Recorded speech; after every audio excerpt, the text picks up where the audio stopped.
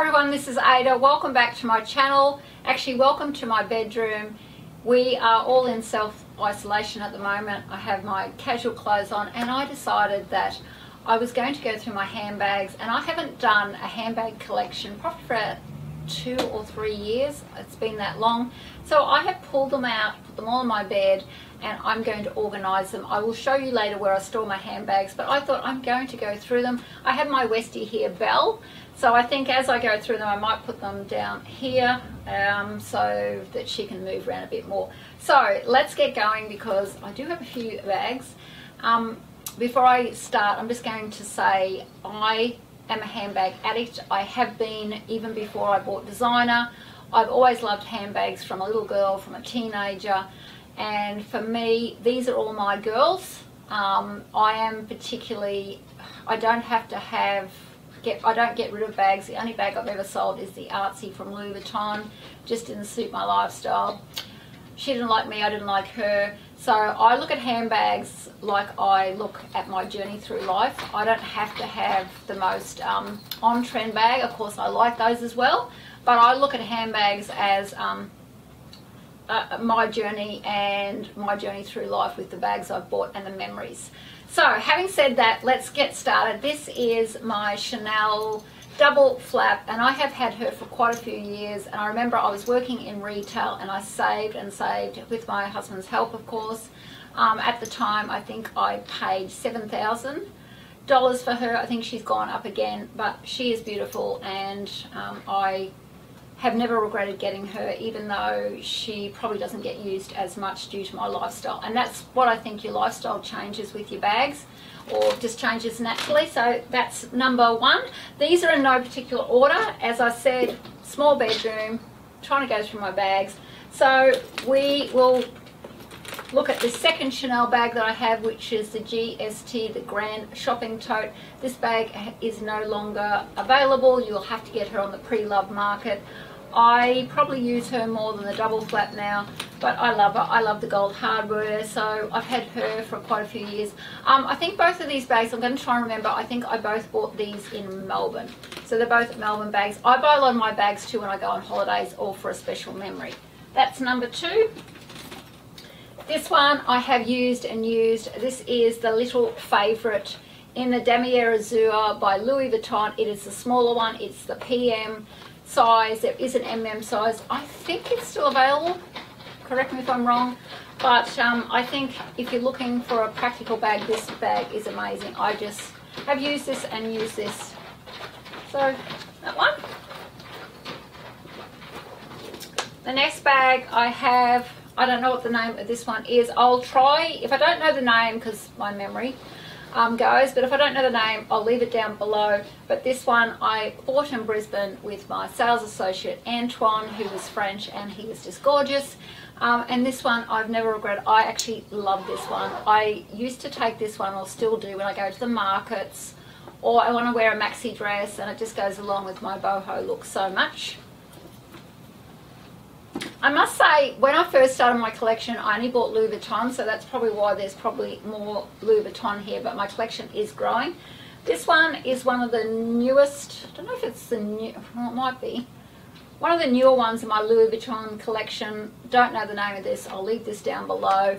The only thing that annoys me about this one, it's starting to lift slightly here. Um, I haven't used her a lot, but I do remember that colour on there was called Sesame Belle. What are you doing? Sit, sit please. I will get rid of some bags for you soon, okay? All right. So that they all have straps. I store a lot of straps um, inside of these and also a lot of these are stuffed as well. You right there, Belle? Okay, let mummy, let mummy move. Okay, let's grab this one. Can I please have this one? Okay, this is, I think it's called the Burberry bowling bag. I haven't used her a lot, but I still love her. I mean, tartan says Burberry, and look at the colours and the leather. It's amazing. I think, uh, I don't know if I bought it at a special event. I can't remember. I think I saw it at a special event. So I'm going to try and use her more this in Brisbane. I'm just going to say I bought her in Brisbane. I'm going to try and use her a bit more um, this winter. Is that better, Belle? Is it? Is that better? Okay, let's grab this one. This is my Lily Mulberry bag. Yeah, Mulberry bag. And I bought her in the UK I must say that I do research my bags a lot. So when I, and I usually get one or two a year. Um, I used to buy a lot more at one stage, but I have such a collection now. So if I, if I'm after a bag every my birthday, I get one, um, or around about that period. I do a lot of research and I get online. I have a look at all these bags. So this one I remember researching for quite a while. I always wanted a mulberry bag. When my kids were younger, I thought oh, my aim is to get a mulberry bag. I loved it. I wanted the traditional, I can't remember what that traditional one's called, but um, I wanted the traditional one. And then when I got to the UK, I saw the lily and I just loved this colour. So it's another one I love. I use her quite a bit. Back to Louis Vuitton and this is the Speedy 30 and this is in the Damier Ebene print and you can, I need to clean up her locket there um, that cleans up quite well with Brasso. So once again, and this is the Bandouliere one, the one with the strap, the strap's inside her. She's so good to use in um, the rain. The Keepall, this is the Keepall, I think I got her in Brisbane as well. I got the Speedy, forgot to say the Speedy 30 in Brisbane. This one I got in Brisbane and I love her. I like to take her on a lot of um, international trips or interstate. My husband doesn't like her at all, but um, she's great. She's stuffed. Okay, what do we have? Uh, this one my husband bought me in Las Vegas when he was on a business trip or a, what do you call it, you know, over there with workmates. Um, I used to use this a lot. This is the Neverfull. Don't know what the print is, but um, it was before they had the pouches in them, so she's stuffed. They're all stuffed. Um, this is the Alma bag.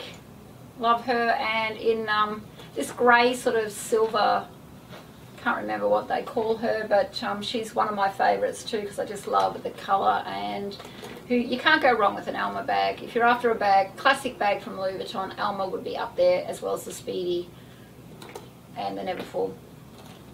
Put that one there. Okay, this one I got in Brisbane. Uh, it was a VIP day with Antoine at Louis Vuitton. There was champagne, there was uh, macaroons. It was a really good day. I think it was um, on how to pack um, the Louis Vuitton luggage. So this is a Noe bag, which is, I think, the smaller one in the epi leather. And this one is a really, I don't use her a lot, but she's really easy. You think things would get lost in her, but they don't. They sort of seem to sit really well. So, and as most people know, the history on this is the champagne bottles that fit in this bag.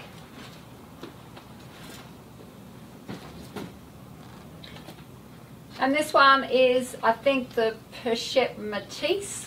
The strap is inside. This is a well-known bag. Um, I remember I took some bags back. Um, Louis Vuitton went through a stage where they had bags um, where some of the leather and everything had melted and it was actually a design flaw. Uh, so we were able to take them back and get a credit note. They were really good, I must admit. They actually had no trouble. So this was a replacement for the two bags I took back. And I remember this was so fashionable at the time and I wasn't 100% after it. I was just trying to replace the bags, you know, because as you can, I need another bag in my life. You can never have too many. Uh, so I saw this and I thought, hmm, may as well grab it. And yet, look, I'm so glad I did because it's a very, very practical bag. So if anyone is thinking about that, it comes in um, the different leathers now, the different colours. Uh, I think the two-toned as well. So this one has been a really good bag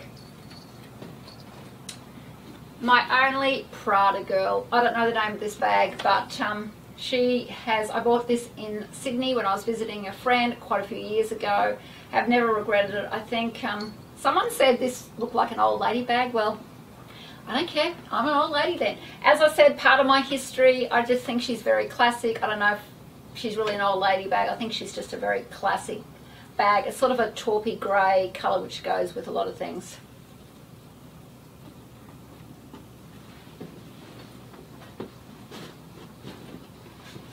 Running out of space down there.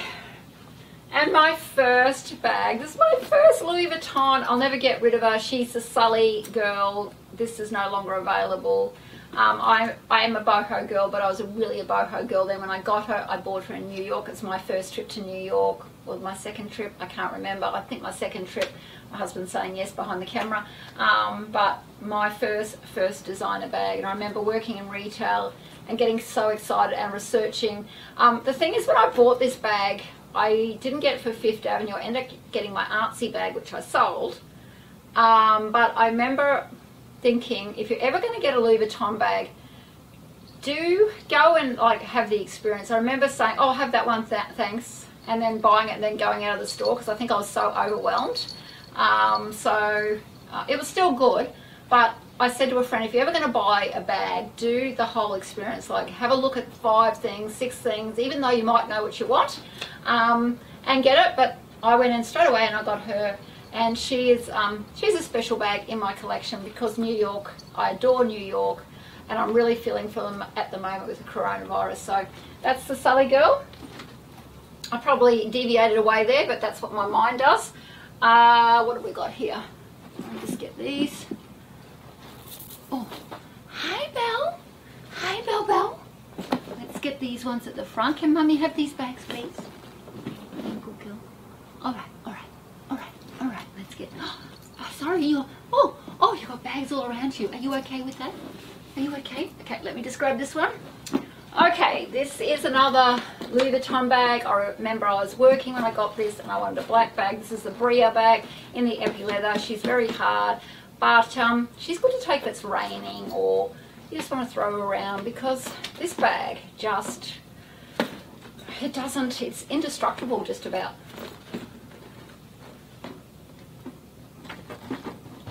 Actually, I might have to start putting them back over here now. I've run out of room.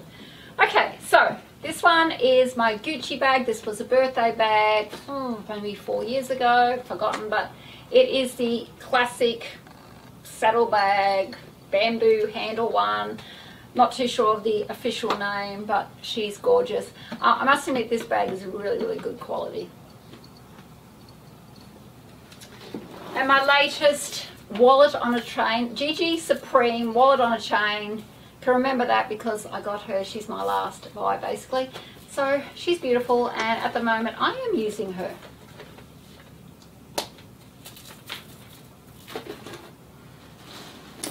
my beautiful, beautiful Marcie girl. I love the Marcie girl. This has a story as well. I went on holidays. I went to New York, UK, and then on to Paris. And I knew I was going to buy this bag. I had wanted this bag for ages. Short story, or the long, yeah, the short story is I already had the wallet that I got on another trip in New York and I really couldn't afford this bag. And then I went off it and then I came back on it and I'm so glad. She would have to be one of my favorite bags in my collection the Marcie bag. So boho um, watch my video on which bag would I be if I was a bag. This is her the Marcie. I love the tan as well from Chloe did I say that this is another Chloe bag now I got this on the same trip but I think I got this no different trip my husband's saying memories. I got this in Italy. Italy. Okay, I got this in Rome. he's, he's, he's behind the camera, he's saying, yeah, Rome.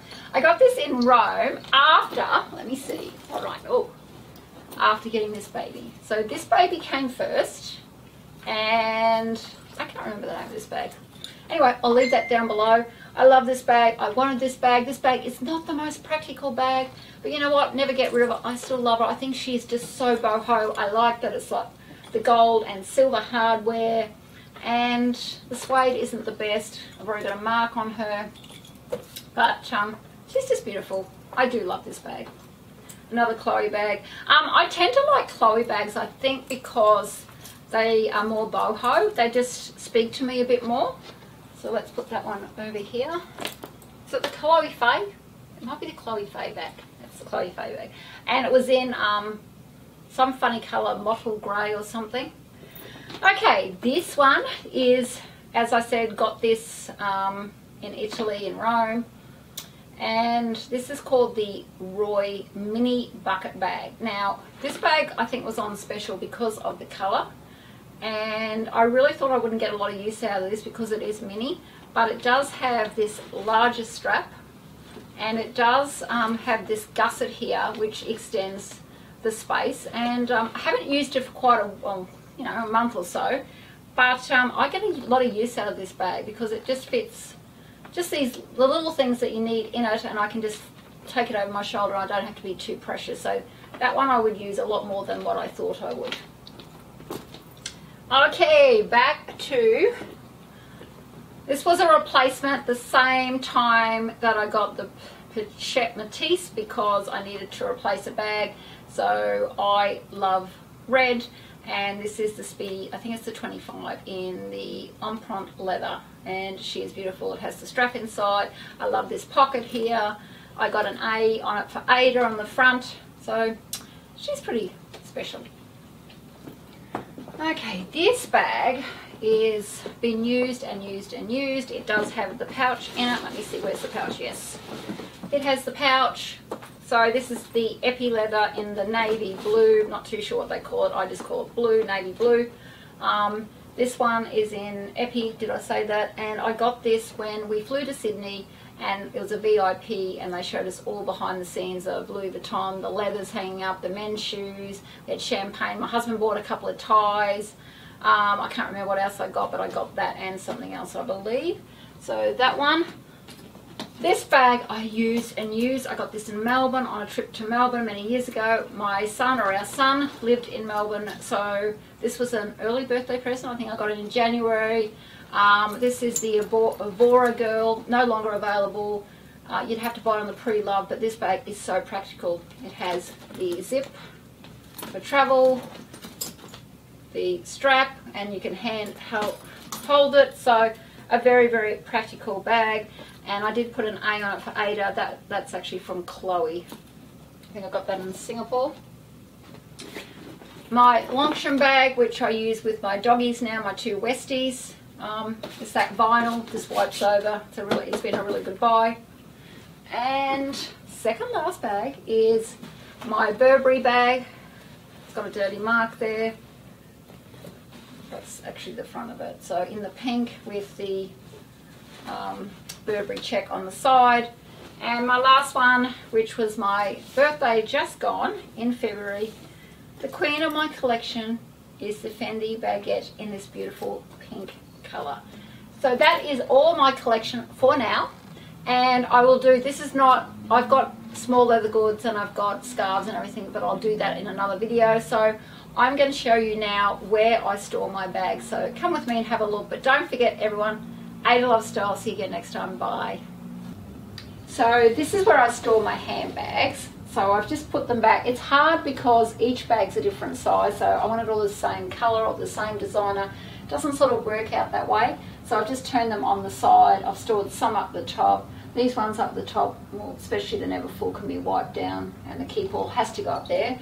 But um, I also have these drawers, which I still haven't finished um, putting everything away. But I'll just show you. I've got a Chloe bag in there, the favourite from Louis Vuitton, and my Gucci. So I will eventually, when I get more bags, probably store more down there as well. So that's basically how I store them. I like all my bags out on show without any dust bags. I do keep all the dust bags and occasionally put them in there if I need to travel or anything. But that's how I store them because if I can't see them, I won't use them. If you like this video, please subscribe, push like, and follow me on Instagram. And don't forget everyone, Ada Love Style. See you again next time. Bye.